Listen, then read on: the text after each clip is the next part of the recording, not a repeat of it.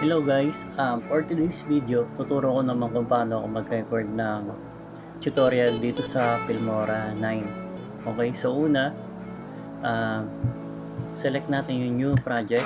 Um, pili natin tong 16 by 9 widescreen. Next, ito yung buong interface ni Filmora. Meron tayo dito ang media, audio, titles, transition, effects, elements, split screen. Tapos dito tayo pumunta sa record. Piliin natin tong record PC screen. Sa record PC screen makikita nyo, ito guys, yung Wondershare Filmora screen. Pipiliin natin dito tong full screen. Ayan.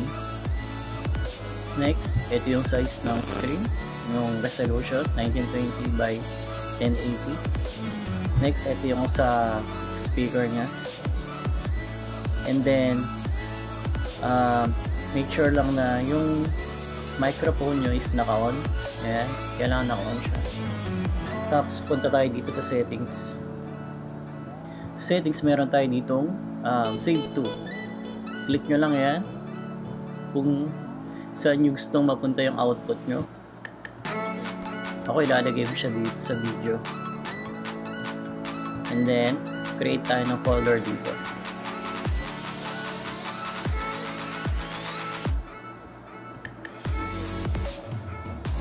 Sample, lagay-lagay natin. Ayan. Tapos, select nyo lang. Then next, sa frame rate, madalas kong pinipili 60 fps or 30 ito. Ayan. Sa quality pinipili ko dyan ito yung best. And then dito sa record timer uh, ito hindi ko to hindi ko naman to ginagamit so hindi ko na ito ituturo. Sa mouse ito show mouse click in recording. Uh, pinipili kong kulay dyan.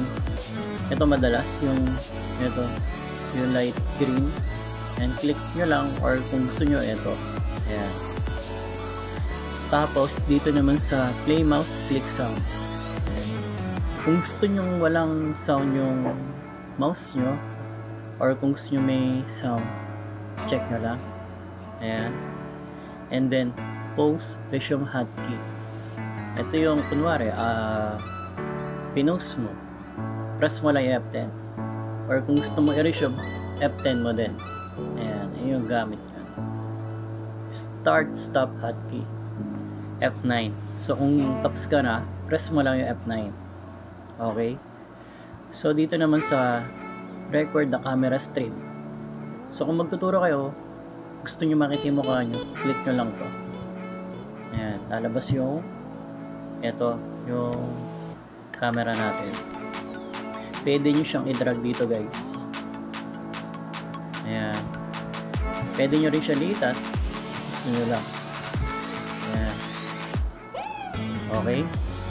So okay na tayo sa setup ng uh, Filmora screen. Na. Start na tayo guys. Pindutin nyo lang tong red button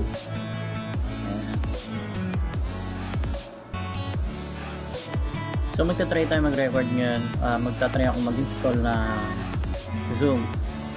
Zoom application ng PC. So search natin siya ngayon.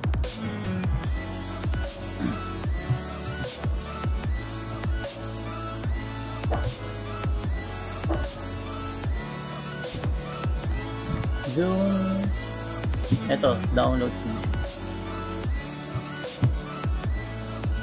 Click lang natin to.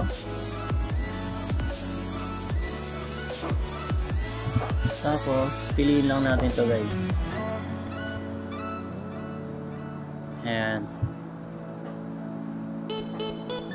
Tapos, install na natin siya ngayon.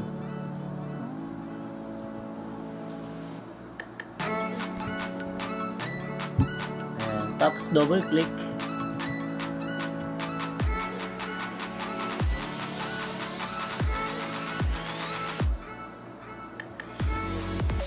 Ayan guys, um, hintayin lang natin siya ma-install.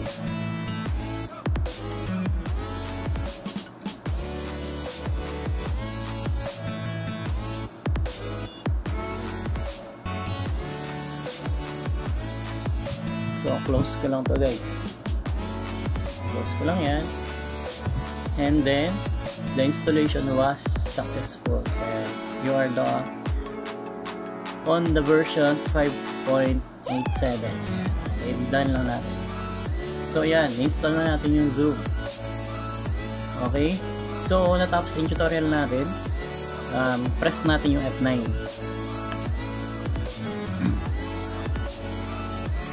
Close natin to. Ito ngayon yung na-record natin guys.